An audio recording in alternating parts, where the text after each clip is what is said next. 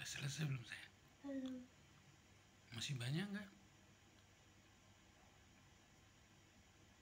kalau diwarnain udah selesai Besok aja diwarnain.